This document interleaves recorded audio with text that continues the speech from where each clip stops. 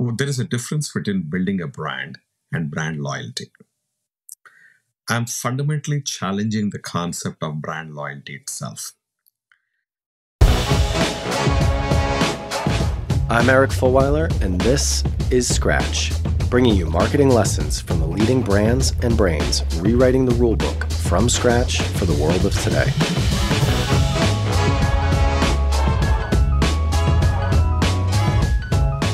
Hey everyone, my guest today is Raja Rajamannar, the Chief Marketing Officer of MasterCard. And in my conversation with Raja, this is actually the second conversation I've had with him. He was on season one of the FinTech Marketing Podcast. And we had a great conversation then, a great conversation now. He sits in really, in many ways, the center of our industry. So he has an amazing perspective on what's going on, uh, what brands are doing to be successful, what people are doing as marketers to be successful. So it was really great to dig into that. It was really great to dig into it. Some of the highlights for me, and I hope for you, you get to hear what a day in the life of a CMO of one of the biggest brands in the world actually looks like. We hear from Rajan how he disagrees with the concept of brand loyalty fundamentally and what to do about that. We also hear how he sees the marketing industry adapting, or actually not adapting, at least not fast enough, to changes in the cultural and technology landscape that he wrote about a ton in his recent book, Quantum Marketing. And then we also hear from him his advice for marketers who want to be CMOs or on a path to being CMOs in the next five to 10 years with so much change, not just to the landscape out there, but also to the role of a CMO. What are the skills? What are the experiences? What are the things you need to do differently if you want to be on track to have that type of role in the future? Please enjoy this conversation with Raja. Hey, Raja, thanks so much for coming on the show. It's really good to see you again. How are you doing? Likewise, Eric. Absolutely. I'm doing well so far, staying safe. Always a pleasure reconnecting with you. Thank you. Excellent. And you have been busy. I have been following along everything you're doing on LinkedIn, Instagram, of course, with the business, but then also your book and everything that you're doing with the uh, with the WFA. So we've got a lot to talk about today. To kick things off, let's start with uh, a question just around your kind of current interests and perspective on the marketing landscape. So, what's a brand that you are obsessed with right now, and it can't be your own? It can't be my own. So you have preempted me right there. so I, I, would say no. Uh, it's very difficult for me to say just one brand, but if I have to, I would say brands like Apple, Microsoft, on the one one side, which is a new uh, technology kind of brands enabling lifestyle both in the B two B as well as B two C context, uh, or uh, brands which are really doing brilliantly and in the entertainment space like Netflix. So I have actually a group of brands that I would closely follow and try to understand what they are up to and see what we can learn from them, or learn from their mistakes if they have done any, etc. So it, it'll be a group of brands as opposed to one single brand, therefore. How do you stay on top of what good looks like and who's doing interesting things? Because, you know, obviously with where you sit, your role, but also within the industry, being the president of the WFA, I'm curious if there's something that people listening can learn from you of how you stay on top of everything. Are there websites you go to? Are there people you talk to? How do you keep your pulse on what a good brand and good marketing looks like um, on an ongoing basis? Yeah, so there are multiple things uh, that one can do. And what I do in my case, and I find it very valuable, uh, is on the one hand, I uh, subscribe to some of these uh, you know magazines, uh, weeklies or daily uh, uploads that they have got, updates that they have got. So that's one part of it, which is very, very helpful material to know what's happening in the industry. The second thing I find to get a little bit of a depth and flavor is in terms of having these industry forums and meetings there.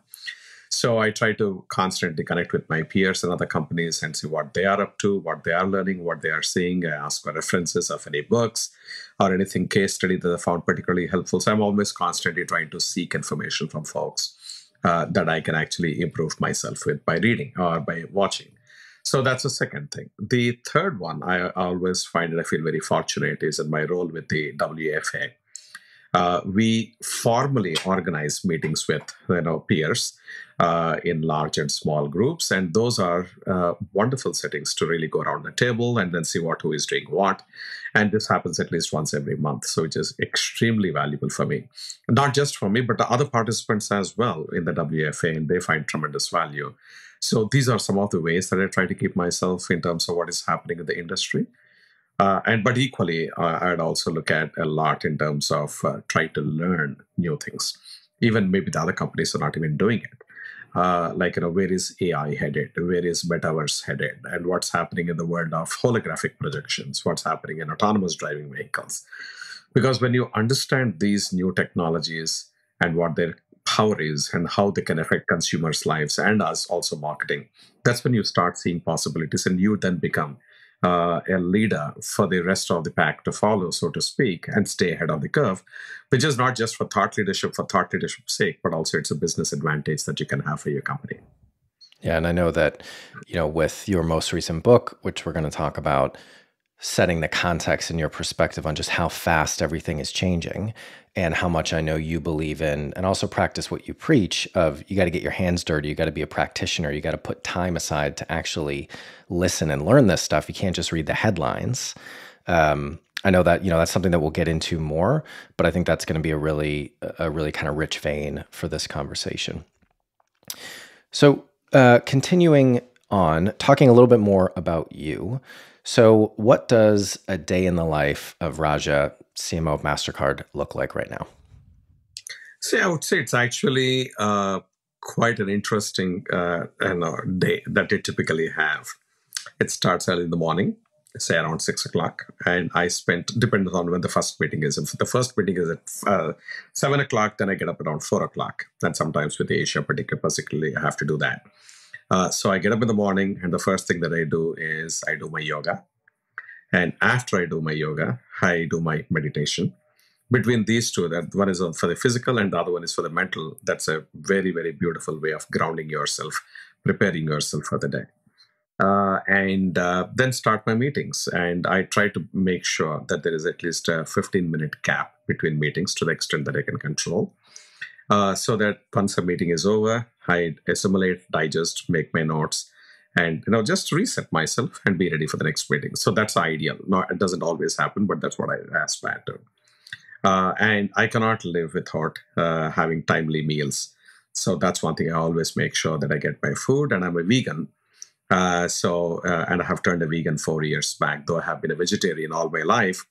So during these, uh, you know, what do you call four years, I found tremendous value for myself in terms of consuming vegan food and uh, both from a uh, you know how you feel. And uh, i don't know how much of it is psychosomatic honestly but it does seem to really make a difference. So i really enjoy that. So i have my vegan meals. And uh, afternoon then the you know uh, exercise continues and uh, goes on till about uh, 6 6.30 in the evening at which point you know again i take a break and i do meditation uh, or I also do a couple of small quick exercises. If I've been sitting throughout the day, uh, I try to not to sit and I try to walk and take my meetings while walking. Uh, and uh, it's only you know where you have video calls. Uh, walking becomes a little bit of a stumbling block. Otherwise, I try to either stand up and take the calls, or sit down and take the calls, or alternate between the two. But if somebody on the other side is open to have calls, that's what I prefer because I can get my steps in and uh, get the body moving. Uh, and uh, uh, then in the evening, uh, you know, I try to you know clear off my emails or do some social media posts and stuff like that. And I try to get to bed, uh, you know, while reading a book. And in the morning, one thing I must also say is when I'm going through my morning routine, uh, I listen to an audiobook. So that that time I'm multitasking, you know, while I'm going about my activity in the morning uh, I also make sure that I'm uh, using that time effectively because uh, there's so much to learn and there is so much. You just don't have enough amount of time unless you manage it smartly.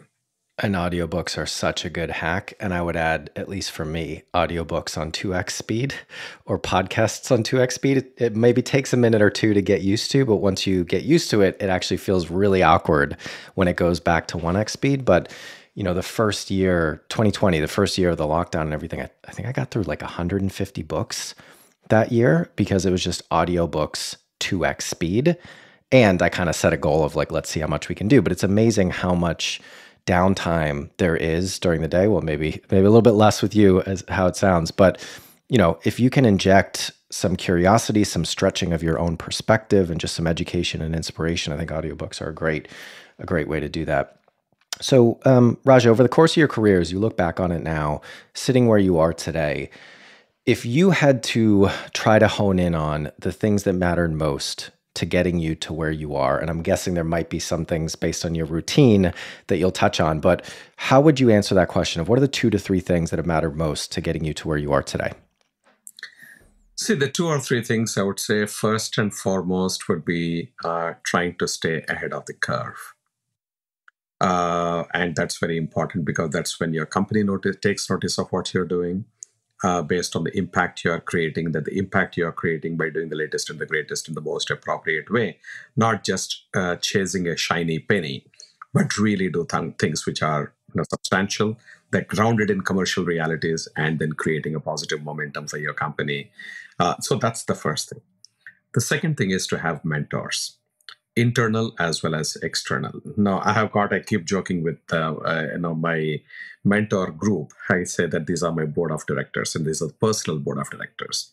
And each one is from a different field. They have been my bosses in the past, or they have been some professors at some colleges, or whoever it is. So I have this board, and they have been incredible. Sometimes, you know, eh, you when you're faced with a kind of a situation at workplace, as an example, uh, either to bounce off an idea or to understand which is the best way that somebody who has got my best interest in their heart, what advice would they give me?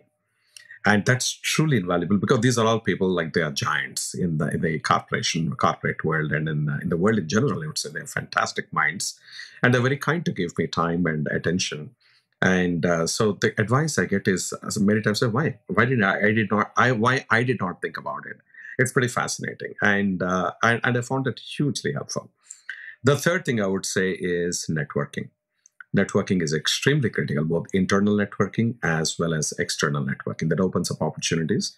Uh, you know, I have changed multiple jobs throughout my career, not as frequently as a youngster these days does, but in my own way. And I started with Asian Paints, then went to Unilever, then Citibank, then healthcare, then I came to Mastercard. So it's about seven companies uh, during this 36 years time frame. So each time there was a move, it was facilitated by some connection, some network. Somebody has seen the quality of my work, and etc. So networking is another thing I would say it's a hugely, hugely helpful thing, and nothing to beat at the end of the day. All these will help if your ground, the basis, the basic work is very good. It's very strong. Your work is very strong. Your integrity is very strong. You're dependable you're reliable, and you know your stuff. So I, I would say these would be the things that uh, I would rate uh, as the basic foundational ones, and the three I said at the beginning are the ones which will then give you the momentum and propel you into the future much uh, yeah. more effective. Yeah, I, I, really agree on the networking point. And whenever I'm speaking to kind of a younger, up and coming uh, marketing audience, that's one of the things I always tell them is like, look, to your point, you need to be good at what you do and focus on making sure you have that. But it's always a combination of what you're capable of and who you know. And so you can't neglect that.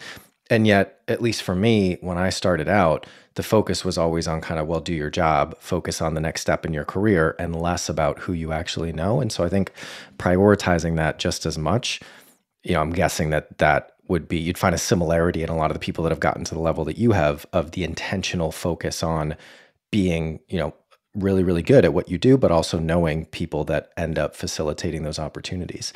I'm just curious on the mentor part. Are those people, say formal mentors where you've kind of decided like hey you know i want you to be a mentor to me or are they more informal because one of my things is i think that everybody especially when they're younger they're looking for a capital M mentor, I call it. Someone that's a formal relationship. Every month we have a call. You've got 30 more years of experience than me. You tell me what I'm doing wrong, the things that I'm not thinking about. But actually, what I've found is I have a lot of lowercase m mentors people who I know and trust, who know me, and to what you said, I know they're going to tell me what they really think and not sugarcoat it. So, over the course of my career, but also especially in setting up Rival, I really leaned on a lot of people that weren't formal mentors, but delivered that input and that value to me. And I'm curious how you think about your mentorship group. So my mentor group, uh, uh, it, it is more formal, I must say. So I meet with every one of them at least once every month. You know, meet us in either on Zoom or a phone call, or sometimes if we are at the same city, we meet together. But I contact uh, connect with every one of them every single month. that helps me phenomenally. And also, they have got an expectation in their own mind as well that there is a cadence. And I agree with them upfront, saying, hey, it'll be great if you can spend a half an hour with me once a month. Well, that, that's absolutely cool with it. Now, what I find is if you make it informal, there are advantages because you can spontaneously go ahead and get things done. That's a terrific advantage. But if you are not intrinsically self disciplined, sometimes uh, what happens is the process drifts and you don't really touch base uh, you know in a uh, it's situa- like for example there are some months there is nothing for me to discuss honestly but then i just catch up with them it builds relationship and second thing is how uh, curiously they will ask some weird question out of the blue which sets off your mind thinking hey why, that's something which is interesting i must think about it kind of a thing so i believe that it has to be largely formalized uh, but not be sort of straitjacketed only into that. You should be able to access anyone uh, that you would uh, benefit from their advice informally as well.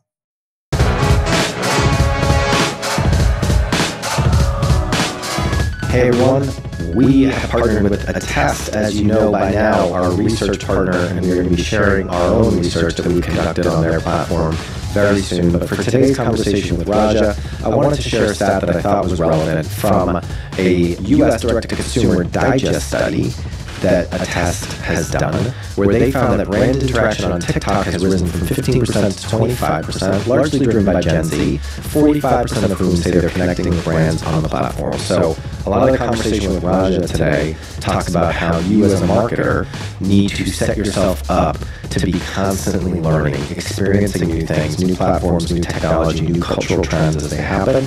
TikTok now is a mainstream marketing platform. It's a mainstream social media platform, as this research from Attest shows. So you really need to be out there. Hopefully, this conversation with Raja helps inspire you to do that. If you have not yet run your free survey from Attest, head on over to askattest.com, where you can do that and access 110 million consumers in 49 markets to help you remove the guesswork from your business growth. So, shifting gears a little bit and talking about your perspective and the practice of marketing in your world. So, the headline of your most recent book, Quantum Marketing, says that almost everything about how marketing is done today, including the very notion of a brand itself, will require a complete reimagination. And as I said before we press record, that lines up very well with our philosophy here on Rival. Every business can be a challenger. Every business should be trying to be a challenger. And essentially, what that means is thinking about the world as if you were starting from scratch, hence the name of this podcast, for the world of today and not trying to drag legacy perspectives, ideas, and models into the current world. So, if you had to, using that as a jumping off point, if you had the opportunity to start your rollover from scratch again today, what would you do differently? I would say probably a couple of things. The first one is uh, I would have spent a lot more time in technology. I never spent actually time in technology per se. I leveraged technology, interacted with technology people, but there is merit, I think, in, in understanding technology from within technology. So that's one thing I would have done. Number two, I would have also spent time uh, in certain categories, like, for example, consulting, uh, where you get exposure to multiple industries at once. So it could be like a consulting, or it could be a private equity or a hedge fund. So these are the folks who are looking at multiple industries at the same time. So the amount of learning that you get from this is absolutely incredible. So that's something which I've done uh, quite some time back if I had that foresight then. These would be the two things at the top. So, multiple industry experience is very, very critical because today, no industry is operating in isolation. The most successful ones operate at the confluence of multiple industries. So, if you know more about these, you can really connect the dots much better than everyone else and then bring it to power in a uh, you know uh, in, it, bring it to life in a very powerful fashion. So i think that that that would be the uh, uh you know thought behind. I want to talk about loyalty within the context of what you just shared and also within the context of your philosophy on modern marketing that you laid out in quantum marketing and also in, in all the other content that you put out so in an interview that you did with contagious recently you talked about how Brands are so low in the hierarchy of people's lives, yet we're killing ourselves as marketers and spinning our own fantasy to say that people will be loyal to us. But at the same time, you know, the first question I asked you, what are some brands that you're obsessed with? There clearly is some passion that people have for brands. There is some loyalty of people buying Apple, um, you know, and and wanting to include these brands in their lives and them having a meaningful place in their lives. So I'd just be curious for you to unpack that a bit because I don't disagree, particularly with the point of, you know, when you talk to marketers, brand is the most important thing, but we need to make sure that we're keeping the perspective of the consumers that we're trying to speak to in mind. But at the same time, of course, there's some fundamentals to what has built successful brands that I think still apply. So just be curious to maybe talk about that for a couple minutes and get your reaction to what I just said. Yeah, absolutely. See, there is a difference between building a brand and brand loyalty. I'm fundamentally challenging the concept of brand loyalty itself. So, when many surveys have revealed that more than 70% of people in a relationship, either a married relationship or in an informal living relationship, they have admitted to cheating on their partners. And the point is, if people in their personal lives are not hardwired, it looks like, for loyalty, why would we as marketers believe that people will be loyal to us as in our brands? Because frankly, we, we rank so low in the scheme of things as far as consumers are concerned. So I would question the call, call concept of loyalty. What we mistake are, uh, you know, uh, mistakenly we run these programs, loyalty programs. They're not loyalty programs. That is an attempt to get some level of stickiness. But if you misguide yourself that these are loyalty programs, then your whole approach is fundamentally wrong. And if you look at it as how do you make this customer stick with my brand and make the next, next purchase also in favor of my brand, your tactics and strategy will be completely different because your perspective is approaching it the right way. This is on the loyalty part of it. Now let me talk about some of the brands that I mentioned at the beginning. And people, they, they really are this, there with the brands. There are multiple things. It is not loyalty even in those cases. There might be a level of liking of the brand. Don't mistake liking again for loyalty. I like a particular brand because they're fantastic in terms of what they provide to me, etc.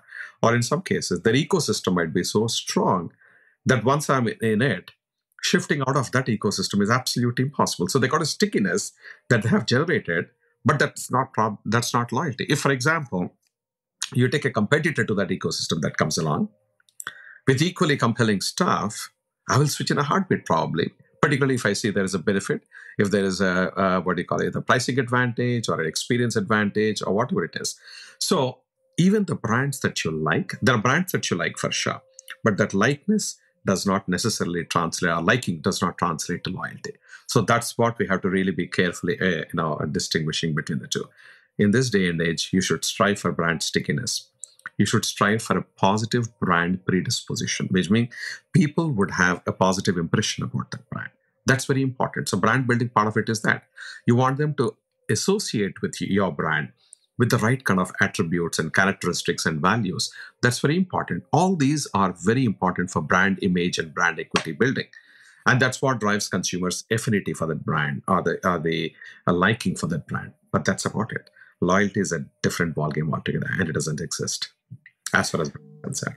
So, so within that um, perspective, within the world as it looks like that, taking it down a level, what would you actually recommend that marketers listening do differently based on that perspective? So, another way of framing it up would be, you know, if you were sitting down with a new marketing team today, or maybe you can even talk about how you're applying this perspective at Mastercard. But how would you ac- actually recommend that for 2022 marketing strategy? What actually changes based on that? So, first, I would say is that recognize the facts for what they are. Meaning, when you recognize there is a problem, you will try to solve the problem. But if you condition yourself to say there is no problem here, what I'm doing is good, it will not take you to the next level. So, the first thing is understand the difference between loyalty and other things that you're doing under the name of loyalty. That's number one. Number two, you should be crystal clear of what you think is loyalty that is translating into business results. Understand the true drivers of those business results. If you're talking about, I want the consumer to keep using my product every time that they are in that category shopping for that particular item. Or if it is a usage, they are using my product constantly or whatever else it is there. Understand what are the drivers of those preferences. Your, your focus should be on managing their preferences, and preference is not one and done. Every time that the consumer is taking a decision, you want to influence their decision in your favor. You, want, that is what the preference management is. So you need to build platforms or programs that will drive that preference in terms of consumers towards your brand. So that that's how they would ha- they would have to approach. If you take it as a loyalty platform today, the way we think about it, it's almost like you're entitled. Consumer is loyal to me, and I have run this miles program, so they are loyal to me. No, if I look at my own situation, Eric, like I have got because I travel quite a lot for business, I have got loyalty program or memberships with every single airline that is out there. Now, so is that loyalty? No, it's whenever it's convenient and the connections are appropriate. And you know, I, I just take up that particular. That's what is driving my choice. It's not the loyalty towards brand or the fact that I'm going to other options does not mean uh, that by nature I'm not loyal to these brands or to any brands. Likewise, if you look at hotels, same thing. I have got membership with every single hotel uh, that is that that I go and stay in. And again, I don't choose. I should live in this hotel or stay in this hotel because I'm a member of the loyalty program. No, that doesn't happen that way. So we need to ruthlessly, objectively, and dispassionately understand what the drivers of that stickiness are, what the drivers of that preference are, and then leverage them appropriately. I think a lot about just building on what you said when it comes to advertising, content communication, the promotion of the six P's of marketing, I really believe that the fundamental difference between a challenger marketer or a modern approach to marketing and more of an incumbent or traditional approach is the expectation that you have the audience, have the attention of the audience you're trying to reach, as opposed to you needing to earn it. And what I mean by that, I think it's similar to what you're saying, but I like how you're extrapolating it to really the whole role and the whole function of marketing. But what I mean by that is that I think you need to approach everything you do assuming that you need to earn the time that a consumer is going to spend with you, whether that's in your advertising collateral or actually in purchasing the product. So I think there's a lot of similarities in that. And, you know, a lot of this, in my perspective, really comes down to strong fundamentals. You know, all the stuff that's out there, the new technologies that are coming, the new channels that everybody can spend time on. I totally agree with everything you say about you need to get your hands dirty. You need to taste this stuff to actually see what it is. But underlying all of that, and let me know if you disagree, the fundamentals of what changes people's perception or changes their behavior, which is what marketing is trying to do at the end of the day, that hasn't really all changed that much. And so if you can come back to some of these fundamentals and have the right perspective on things and actually be, you know, customer centric is a lot of what we're talking about, but not just customer centric in the sense of I'm going to, you know, this 12 month product roadmap or this three month campaign, but actually in every touch point and every decision that the customer makes, putting their perspective and their need first. I think that's a lot of what I interpret, at least you talking about, but let me know if I got that right. Yeah. So I would just add uh, uh, an additional layer to what you have just said. If you look at the traditional classical model of marketing. And we used to think these frameworks are very fundamental. So, for example, we used to call something as a purchase funnel. And one of the models of purchase funnel was it starts with grabbing their attention. Once you grab their attention, you create an awareness and convert that awareness into interest. The interest then gets converted to desire. Then, desire, when you give the nudge, translates to action. And once they take the action, they buy the product, the usage happens, and the usage leads to satisfaction. And then the repeat purchase happens. This used to be the standard classical uh, model of purchase funnel. Now, today, that doesn't happen that way. That whole dynamic has fundamentally altered. People don't go sequentially through IAIDAS, they simply go straight to A bypassing everything. Like for many times, I can tell you when I'm on some social media platform, some advertisement comes in. I have never heard of the brand before. I haven't heard of anyone tell me that they have used this product. But based on what they have shown there, I say, oh, this looks interesting. Click, finished. The entire transaction takes less than 30 seconds or one minute. And I bought it. Like, you know, for example, I bought an electronic notebook. I haven't heard of the name of the company before. I didn't know the concept that this is how an electronic notebook works. I was new to the category. I was new to the brand, but I made the purchase and it was not cheap. It was $400 and I just bought it. And I'm, I, I'm very conservative in terms of how I spend. I'm very careful in how I spend my money. But still, this got me motivated instantly. I said, this exactly addresses my problem. Let me go and buy it. So the point I'm trying to say is that the traditional classical models of purchase funnels have been collapsed. So that doesn't work. Advertising as we know it, I say, that's again was treated to be God's truth, but it is not. People do not, you cannot market uh, through advertising the way you have been doing in the past because people put yourself in the shoes. Like, and I keep giving this example of myself. I'm watching some videos uh, on, say, YouTube. Every three minutes or every five minutes, there is an interruption with an ad. It's exhausting. It's it's irritating and it's annoying. And now they show two ads, not even one. So I have to suffer earlier one. Now I have to suffer through two ads, and I'm waiting for that skip now button to happen. Now, when we as marketers talk about creating fantastic, seamless, frictionless experience for our consumers, what are we doing in this example that I have just given? We are introducing friction. We are intruding into the consumer experience and we are destroying it. Like sometimes when I watch a song, the song happens to be a long, say, Bollywood song, five minutes long. At the end of three minutes, suddenly you stop my song for me to listen to some stupid ad that I don't care anything about and then I have to go back to listening to the rest of the song. By then, you are destroyed by mood. So when consumers are treated this way, what happens is they get put off. As a result, more than 600 million consumers around the world have put ad blockers on their devices. And if ad blockers will not let you access content, you're willing to pay money but not suffer through those ads. And therefore, you go to platforms in droves like Netflix and Amazon Prime in fact, last year, sometime at the beginning of last year, I read that there are 200 million subscribers of Netflix alone. And they spend billions and billions of hours on Netflix. And that attention is coming at the cost of ad supported environment hours. So you have to fundamentally realize that these are the kind of shifts which are happening. And we just spoke about loyalty. A trillion dollars is spent on loyalty programs every year by the entire industry. Is that something right? fundamentally, I disagree with the fact that loyalty exists, at least to the brands. So, in that scenario, I would put every single existing concept on its head and say that we have to reimagine, rethink marketing from ground up. Even the way we get consumer insights today, it's absolutely stupid.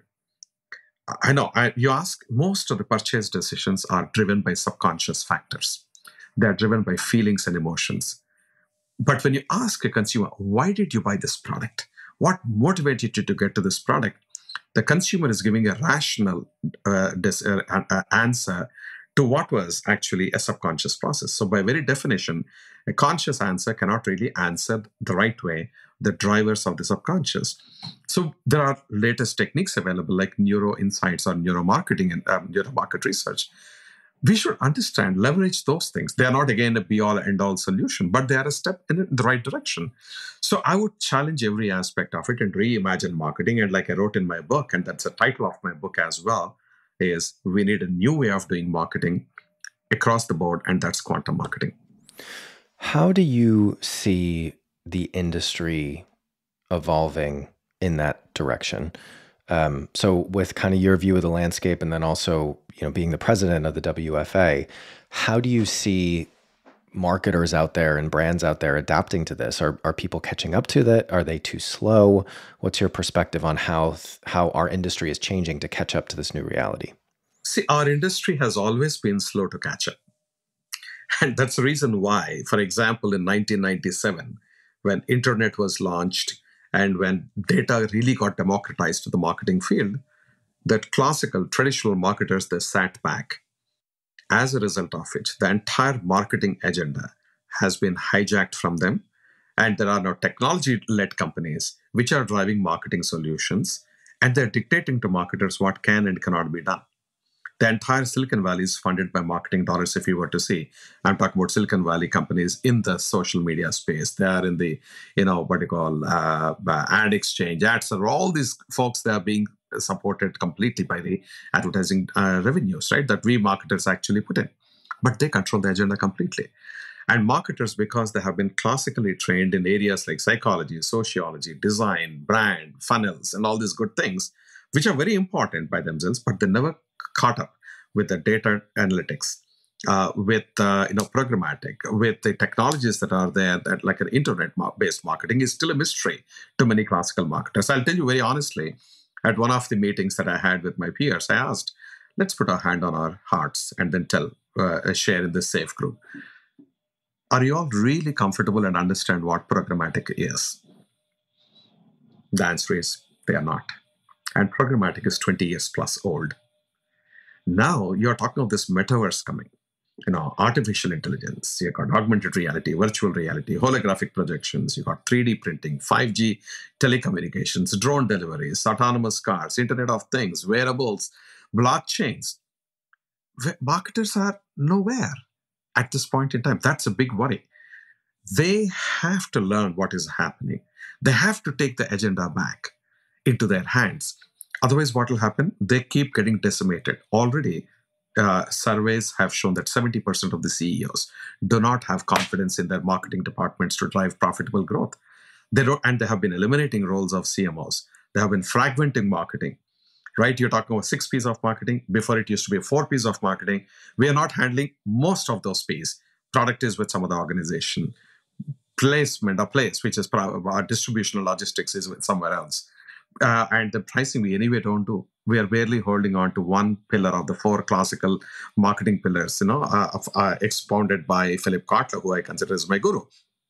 But that the world has changed, and what what happens is plus you got new c-suite executives coming up like chief growth officer chief customer officer chief revenue officer now tell me if you take away growth revenue and customers from cmo's job what is left what does the cmo exactly do? What does marketing do?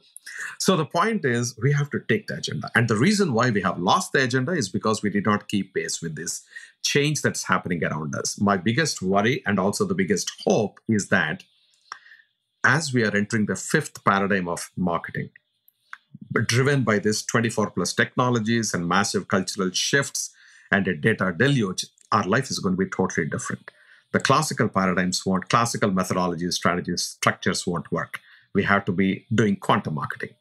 The good news, and why I am inspired, is many of the progressive CMOs are seeing the sense behind it and they are making the moves.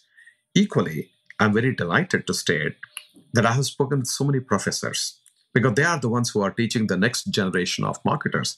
When I speak with them, you know, more than 225 colleges around the world and some of the top colleges, they have actually reconfigured their marketing programs of how they teach marketing in their colleges as part of the MBA programs based on the concepts I have uh, mentioned in this quantum marketing. So they're relooking at it. That's a big change. So at least for the future, they're going to get exposed to the right kind of things. And uh, this is from the academia point of view. The youngsters, I think they're very curious to learn. And uh, this is the moment if we seize, I think marketing can really make a huge difference to companies because in a world that's tech driven, the differentiation is not going to happen by products or by technology by itself. It is through creativity, it is through marketing. And I think so. This is our moment to seize, and uh, I'm very excited for what the possibilities could be uh, if you were to do that. So, for people listening who see themselves on a track to being a CMO or want to be a CMO in the next five to 10 years, because I think there's, you know, the people coming up through universities now, if that education system around marketing is changing to incorporate some of these, um, you know, new trends and new topics and new new skill sets that people need, really. For people who aren't going to get aren't going to benefit from that and are at mid or mid later stages of their career, you know what what are the things that they should be doing now to be set up to be competitive for the role of a CMO whatever that ends up looking like in the next 5 to 10 years I'll, I'll give a small list of things that they have to do right? First and foremost they should absolutely dedicate time and effort to learn. They have to really educate themselves quite well and stay on top of things that are happening around number 1 number 2 I would say they should get multi industry experiences. Don't stick to one company, move across industries, gain as much of knowledge as you can across industries because that's going to be very valuable. The integration of experiences across industries will be critical. Third, if you are in the US, go outside of the US as well. The globe is all ours. So don't restrict yourself to some artificial political boundary, so to speak. The world is very big, go explore, and you will see the richness, the variety, the cultural differences, the nuances with which things can be done. It's fascinating. Like, for example, if you look at Asia, Asia is much ahead of the United States in telecommunications or in gaming. So, innovation can happen from anywhere in the world. So, be at the cutting edge. So, go into these spaces. Fourth, don't stay only in marketing. Spend stints in sales, spend uh, time in areas like finance, technology, data. You will thank yourselves for having made, made this kind of thing. So become a more of a general manager with a deep marketing expertise as opposed to being a marketing specialist. The days of the marketing specialist are not going to be great. You have to be a general manager who understands marketing profoundly. You have to connect the dots between various aspects of marketing and various aspects of the business. Your marketing actions, what are they driving in terms of business outcomes? That's going to be very critical and very exciting. So I would say broaden. So first learn, second broaden across geographies, broaden across industries, broaden across functions. And of course, network, seek mentors, and stay ahead. I, I think this is this is what my advice will be in, in a nutshell. I think that's a great way to wrap things up and some really good advice to leave people with. So the last thing I wanted to ask you, and I think we can, you know, what you talked about is is great advice that people can take um, and do a lot with. But if people could only do one thing, if they had to take one thing out of this conversation to do differently for themselves or their businesses, what is that thing for you? Learn as much every single day, every single week. It'll, you'll really uh, be benefiting quite a lot. Great. All right, Raja, thank you so much for joining me. I really appreciate it. It's always great to get your thoughts on things. Hope you have a great day. Thank you very much for having me on your show. Much appreciated and hope to do it again sometime soon. Thank you so much. Stay safe. Cheers. Scratch is a production of Rival. We are a marketing innovation consultancy that helps businesses develop strategies and capabilities to grow faster. If you want to learn more about us, check out wearerival.com. If you want to connect with me, email me at eric at wearerival.com or find me on LinkedIn. If you enjoyed today's show, please subscribe, share with anyone you think might enjoy it, and please do leave us a review. Thanks for listening and see you next week.